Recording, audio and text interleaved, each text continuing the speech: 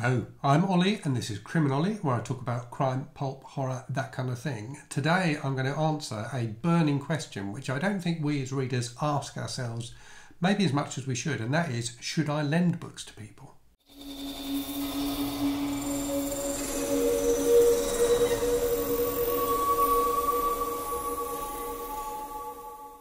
So if you're new to the channel, my Sunday videos uh, are what I call my Sunday bollocks videos, um, where I talk about a random kind of book-related topic for 10 or 15 minutes, really just to start the conversation. Um, so they're the, these are the videos that tend to get the most comments from people, um, which I love. So you know, if if you've got if you feel a need to respond to me on what I say today, if you disagree with me or agree with me, leave a comment and we can have a chat about it down there.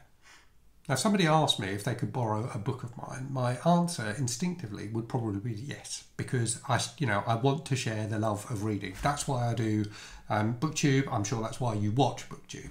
Um, so we are all, you know, we're all passionate readers. We love books, um, and we want to share that, you know, that love with other people. And people can do that in, you know, a variety of different ways. But the way we do it here is by um, either talking about books um, or by, you know, watching videos about books and commenting and so on and so forth. And, and you know, I've certainly had some fantastic discussions about books um, with people through BookTube um, and have had some fantastic recommendations um, of books through BookTube as well.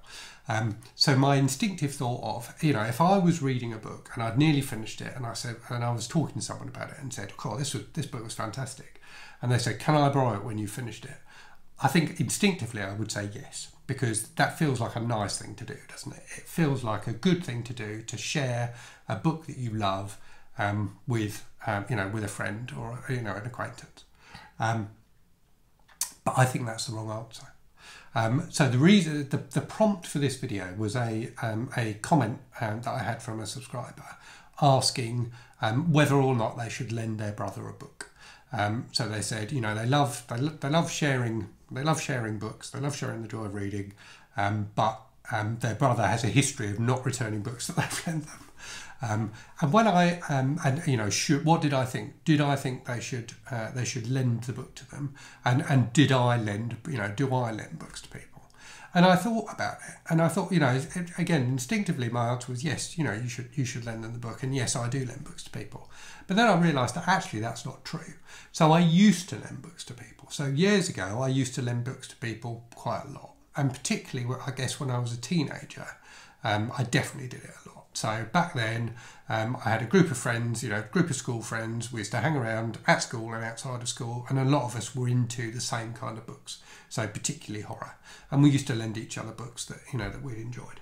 Um, and you know, I really enjoyed that. I enjoyed that um, that kind of the, the community feel of it, I guess, of, of reading a book that you really enjoy and then lending it to a friend and then reading it and being able to talk about it. Um, I think the difference is back then. Um, it was much more difficult for me to get books and for my friends to get books. So a we were teenagers, so we didn't have you know the disposable income that um, you know that we might have as adults. Um, but also, you know, we're talking about the 1980s here, so the internet wasn't a thing. Um, you couldn't go onto eBay and buy any second-hand book, um, you know, pretty much in the world that you wanted. Um, if you wanted to buy a book that wasn't new, um, then you were limited to the books that were in the bookshop that you were in, you know, in the second-hand bookshop. What was on the shelves, you know, that's all you could buy. And you might be able to, you know, in a in a shop that sold new books, you might be able to order in a book, but that might be a reasonably lengthy process, and you'd be paying full price for it as well. Um, certainly not like today, where either you can, you know, you can order pretty much any book you can imagine off eBay, albeit the prices of some vintage horror books are absolutely ridiculous, um, as anyone who's into them will know. Um, or you can buy, you know, a ton of different books on Kindle and, and get them delivered literally instantly. Um, and in fact, the other day, um, Troy Tradup, a subscriber, um, recommended a book in a comment. It sounded interesting from what he said about it. I had a look at it on Goodreads and Amazon. It still sounded interesting. I bought it, uh, and you know, we started reading it pretty much immediately. Um, and that's you know that's a fantastic uh, you know freedom that we have nowadays, the the ability to do that. Back in the eighties, it was much more difficult. So lending books, particularly if you got hold of a book that was um, more difficult to come by. Um, so um, you know, I'm thinking here particularly about like imported books. Um, so there was a comic store in the, the town that I lived in um, that would get in like American editions of like science fiction and fantasy and, and horror books. Um, that were you know that was the only place you could get them basically. So if someone got hold of one of those, it would quite often be lent out. Um, so there, there, there was definitely a big lending thing going on, and with movies as well. So you know, similarly with movies, much more difficult to get hold of movies. This was also you know at the height of the the kind of video nasty scare. Um, so there were you know lots of horror films that were banned in the UK. Um, and I had a friend who had a friend um, who was able to, to you know to provide um, for a small fee. I think you'd give him a fiver and a blank videotape, and he, he had a huge range of um, of dodgy videos that he could copy onto your videotape for you. So yeah, um, yeah, and those, those definitely got lent around and, and, watched in, you know, kind of sleepovers and things like that in my group of friends. Um, so nowadays, as an adult, it's much easier. You know, I've got more money. It's much easier for me to get hold of books, and the same for people I know. Um, so lending is is something I would be much less inclined to do anyway, because there seems to be less point for it, um, or less point to it. But also, um, crucially, um, I've lent a lot of books and not got them back. So I have lent a fair few books, you know, over the years as, as an adult rather than as a teenager, and just never see them again. Um, and I think that's partly because um, whereas when I was at school, friendships were pretty solid and you would see people every day because you were at school with them. Um, as an adult, you know, in my work life, um, the group of people I work with can change, you know, fairly regularly. Um, so you know you're not getting that regular contact with people, and certainly there are people I've lent books to, who I subsequently stopped working with, and have and never seen the book again, um, which is disappointing. Especially as the books that I would lend to somebody are books that I would you know that I like. Um, I wouldn't lend a book I hated to somebody. Well, I might do, I suppose, um, but it's it's much less likely. Um, so there's that, but then there's also the risk involved. So there's a risk involved of losing the book. There's also the risk involved that everybody reads books you know physically reads books in a different way, and you might unknowingly um, end uh, you know lend a book to someone who's a spine breaker or a dog era, dog era or whatever, and end up with getting the book back, but in, in a very different condition to, to how you lent it to them. Um, but the other risk, of course, is especially if it's a book that you loved, that um, you've got an emotional investment in them liking it. Um, and, and, and equally, they feel some kind of obligation to you to read the book and to like it. And I think that can end up being quite awkward. Um, and it can end up it can end up with you not getting the book back in some instances, I suspect, because the person you've lent it to lent it to feels this this obligation to read it and like it. And they might keep on starting it and not getting on with it, but thinking, oh, I really need to, I'll put it aside, I really need to give it a bit longer and then try again um, because you know Ollie lent me this book and he says it's fantastic. So you know I owe it to him to to try and like it. Um, and that might just drag on and on and on until it gets too awkward for either of you to mention the book anymore, um, and and you therefore never get it back. Uh, but yeah, I think there's this real danger with lending a book that you have a real emotional investment in to somebody else. Um, I'm and I'm I'm very happy to recommend books to people. You know, clearly I do that every day on the channel, and um, I you know I, I also buy books for people. So I quite regularly um, buy books for people as as gifts, or you know send books to people as gifts, um, but with no expectation that that I get anything back, or you know that I get the book back or get anything else back.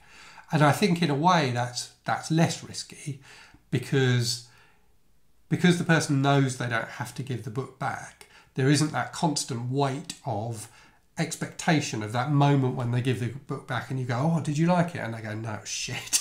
um, you know, so, so, there's that, that dread about that, that moment of having to give the book back um, that I think can be a disincentive to actually, you know, ever try and read it in the first place.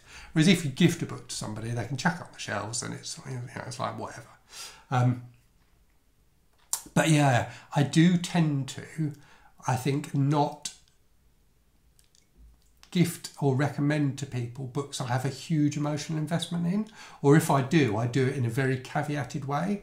I might well recommend books to people that I really, really like and think are excellent books. in the knowledge that they might say, actually, I didn't really enjoy this because X, Y, and Z, and that's fine.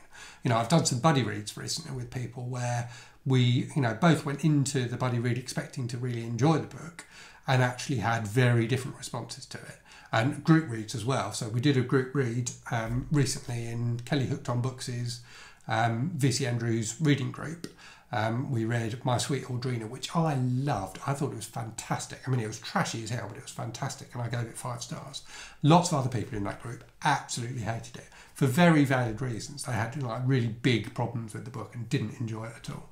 Um, and that's cool. That's totally cool. But if there's a book that like has had some kind of deep meaning for me, um, then I probably wouldn't be very inclined to lend it or gift it or recommend it to people because um, because if, if they say, um, you know, it's a bit soul destroying, isn't it? If they say, oh, it was really awful, these are the reasons why it was really awful, um, you, you end up, I, I think when you have that kind of an emotional connection with a piece of art, it becomes valuable to you in a way that other things don't. Um, and, um, and and that's why I think there's a real risk in lending books you love to people. I think it's probably okay to lend books you think are okay to people, um, but I definitely wouldn't recommend lending books you love to people because if you do get them back, you might not get the response that you were hoping for. Okay, now we get to that point in the video where I pluck a random book from the shelves, or at the moment from the boxes, because all my books are boxed up. Um, so this is uh, The Miracle Morning by Hal Elrod. So in, in keeping with the theme of today's video, this is a book that was given to me as a gift by my boss at the time, um, who said it was a you know a fantastic book and it really helped to be um, you know super efficient. And she was a super efficient boss and a you know super efficient person, and is far more successful um, in business than I am. The terrible thing is, um, in, in, keeping again with the with the theme of this video, I haven't actually got around to reading this book yet. So I definitely will at some point, um, and I'm sure it will give me some really useful tips. Um, but I, I, have not yet read it, um, which is a little bit embarrassing. So hopefully she's not watching. So as always, thanks very much for watching. Let me know um, your stance on lending books. Is it something you do a lot? Is it something you avoid doing? Um, is it something you think I should be doing more of? Um, yeah, let me know what you think in the comments. We can have a chat about it down there. Um, but as always, thanks very much for watching. I hope you're safe and well. I hope you're really good stuff. And I'll speak to you again very soon. Cheerio.